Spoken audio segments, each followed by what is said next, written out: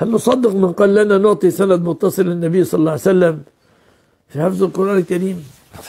الآن والله ما أنا مصدق لأن في رجال من من زمننا إلى مثلا البخاري أو إلى القراء المشاهير ولا نعرف أسماء ولا ولا, ولا لهم تراجم.